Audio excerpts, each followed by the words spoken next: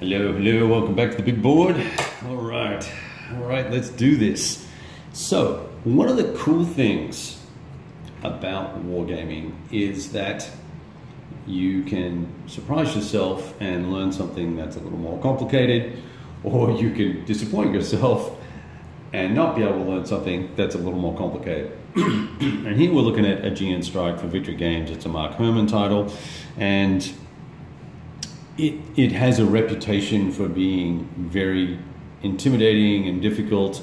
And of course, I know there are many, many smart people out there will go, well, Kevin, that's not true. It's just easy and you're just not that smart. And that's awesome. Good for you. You grokked it and you got it. Now, for me, I think 80% of the battle here was letting, accepting to myself that I could actually work it out and take the time and see how things unfold, right? So it doesn't matter what term we're at and all the rest of it. All I wanted to do was share with you a uh, ASM on ASM or two two subgroups fighting each other, and hopefully I can articulate what the rules say and then how I've applied them in this particular circumstance so that we can get a feel for the game and the combat and we can see that it's probably not that hard, right? Um, so the first thing I, I had been doing was I found this little summary, uh, abbreviated sequence of play, and what I started doing was adding some notes for each individual segment and just briefly allowing me to look at one page and go, okay, you know, in the first initiative segment, so that's the initiative player, of the first action phase, they're going to get to uh, you know conduct air missions, and I put things in the order that I assumed that I might play them. The order is not is not strict. Uh, I would perhaps first thing I would do is look at offensive missions for aircraft that were in offensive mode. Then I would look at naval movement and ground movement. Then I would de declare combat, and that would allow a reaction uh, uh, phase as well, I believe. And then there's reaction segment where any air units that are, are set in offensive mode can conduct strikes, and the naval units can move, and there's ground units in reserve can move into combat hex and all that sort of fun stuff. And while that's all going on, the initiative player could conduct uh, interceptions.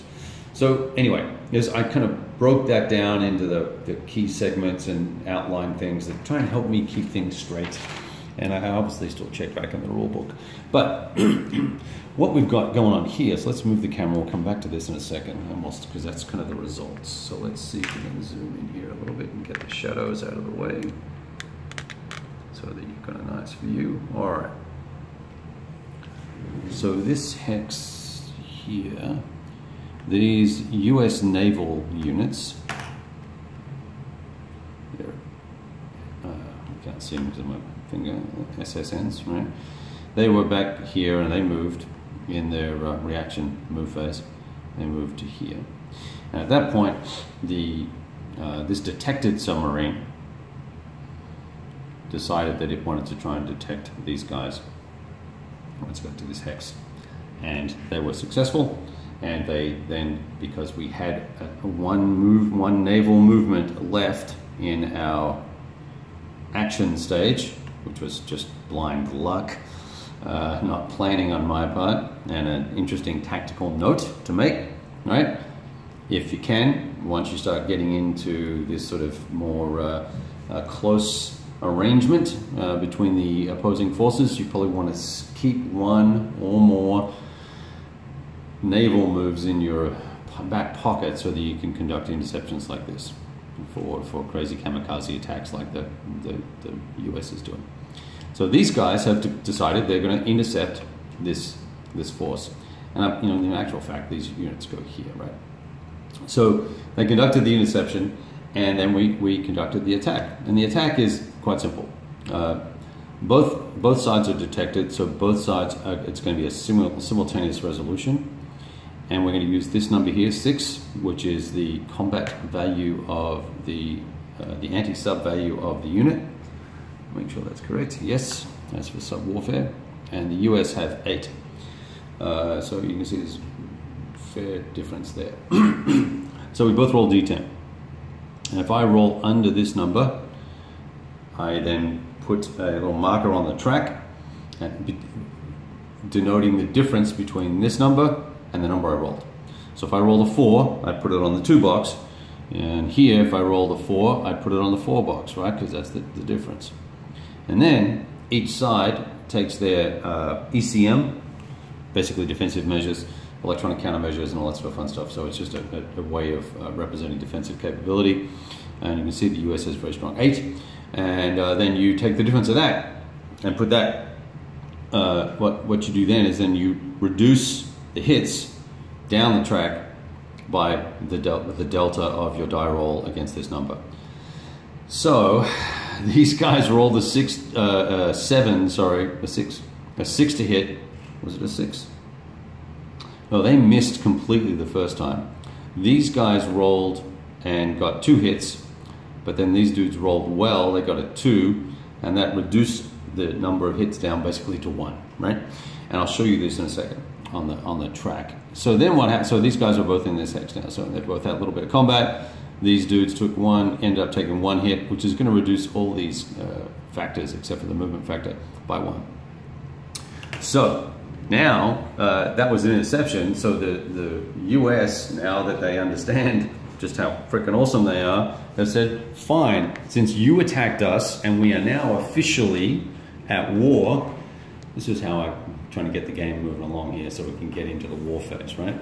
Uh, let's let's get after it, right? So they said let's move into that hex and let's uh, let's attack that uh, little Russian sub there. So uh, the first sub rolled uh, a, a one hit, and the next American sub rolled uh, three less on the die roll, so they got a, a two hit result, and then the, oh, now I have to remember here.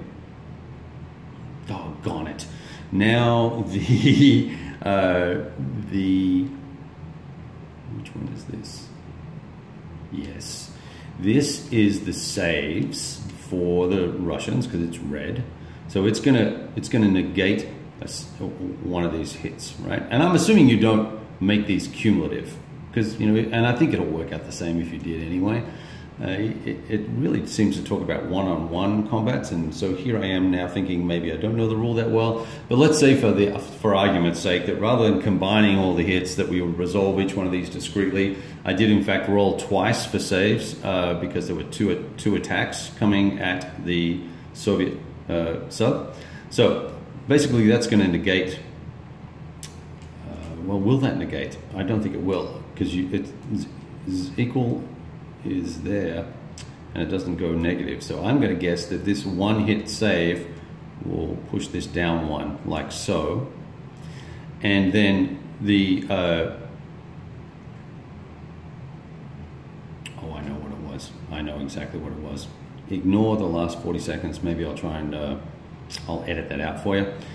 Okay, here's what happened. This is the Soviet roll for the hits. They got one hit. This is the, uh, the hits for the Americans, and this is the save roll by the Americans, and the, the Soviet unit did not save. That's what the, the, the markers are. Uh, and you don't get any markers really for this, so it's a little tricky. There's supposed to be some track thing, uh, counter, I can't seem to find it. Uh, so you're supposed to move it up and down.